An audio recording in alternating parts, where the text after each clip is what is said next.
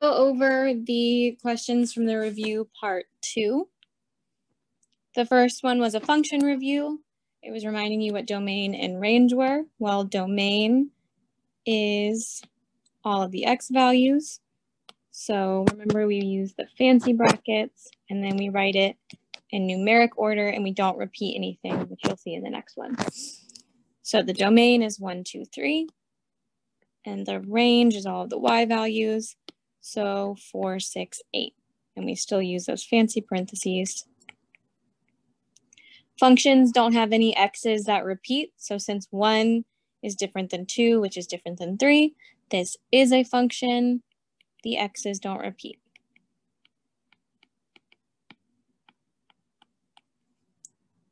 Same kind of question for the next one. The domain is all of the x values. We use the fancy parentheses and then we don't repeat the number. So even though it's 1, 1, 1, we just write the number 1. The range is all of the y values. So 2, 6, and 10. Is it a function? No, because 1 went to 2, 6, and 10. So the 1, the 1's repeated, and that's an x value. It doesn't matter if the y values repeat, but it does matter if the x values repeat. The next one is a vertical line review. That is where we draw a vertical line. If it only passes once, it is a function. If it passes more than once, it's not a function. So then we check this one. It only passes that vertical line one time, so that's a yes. Same thing for the next one. If it only passes once, it is a function. If it passes more than once, it's not a function. And then this one also only passes once. This is a proportions review. So proportions are functions that increase or decrease at a constant rate. And they start from the origin. So is the table a proportion? If so, write a proportional equation. That's where we do our y over our x. So our 4 over our 2, our 10 over our 5, and our 18 over our 9. So we, we should have gotten that all of these are 2, and our proportional equation is y equals 2x. Same thing, 1 over 3, 2 over 6, 3 over 9. That all gives us 1 third. So we write the proportional equation y equals 1 third x. Remember, proportional equations look like y equals mx. Whatever you find as the constant is what you replace with m. So the last one 8 over 2, 16 over 4, and 40 over 10. I always know what number to put on top because it's in the y column. All of those simplify down to 4. So our equation is y equals 4x. This is where we make the table, state the unit rate, and then graph the points. We make the table by doing 4 times whatever x is. So y equals 4 times 0 would give us 0. y equals 4 times 1 would give us 4. y equals 4 times 2, which would give us 6. y equals 4 times 3, which will give us 12. And then y equals 4 times 4, which is 16. The unit rate is the constant of proportionality, so 4. Now we can plot the points, one comma four. You can also check by doing your rise over your run. Even if you plotted the points like normally, you would get the same thing. So one comma four would be rising four and over one, rising four over one, rising four over one. And that's how we graph that. We do the same thing for 3x. You should have gotten 0, 3, 6, 9, and 12 the unit rate of 3, and then it's 1 comma 3. So up 3 over 1, up 3 over 1, up 3 over 1.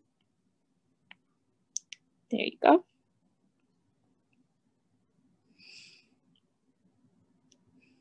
The point 3 comma 12 is on a proportional graph. What equation represents the situation?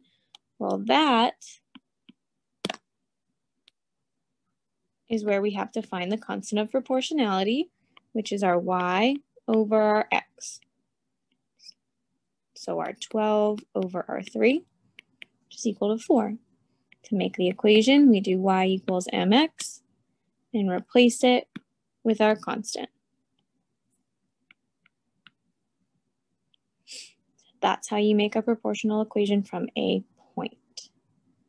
Next one, y over x. So it's our y over our x, our 1 over our 5.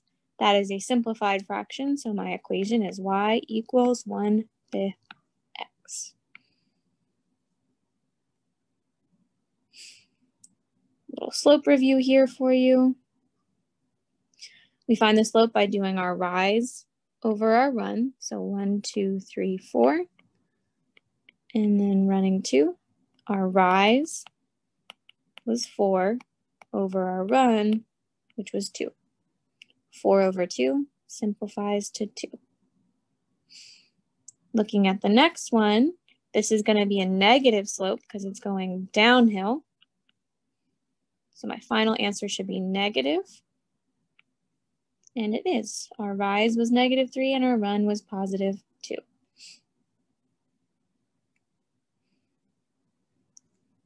See how much we rise on this one. I know it's going to be positive because it's going uphill from left to right. We rise 3 and we run 4. So 3 over 4. This one we had to put two points on the graph and then we can check. Bike is going downhill, so it's negative. To give us negative 2 over 4, which is simplified to negative 1 half. All right, finally, we've got some slope formula review. So we're using the formula y2 minus y1. So first we have to label all of our points.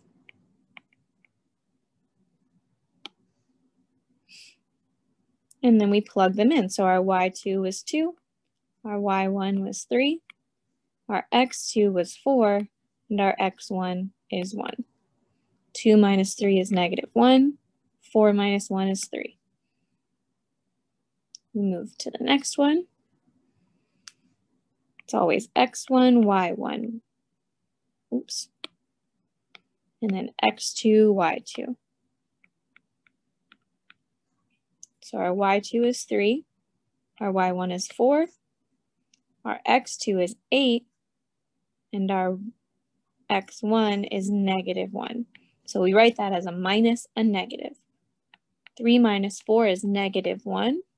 8 minus 1 is positive 9. So we've got negative 1 ninths.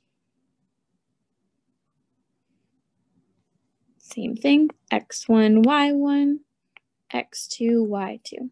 y2 is 3, y1 is also 3, x2 is 5, and x1 is 2. 3 minus 3 is 0, and 5 minus 2 is 3. 0 on top is okay, which means it's going to give us 0 as an answer. It's going to give us a real number. Next one, we've got x1, y1, x2, y2. 3 minus 4, and then 2 minus 2. Negative 1 over 0, well, that's a 0 on the bottom. Sorry. Which is a no. And we call it that because it gives us an undefined slope. If you put that in your calculator, you would get error. So that one is undefined. Okay, that is that.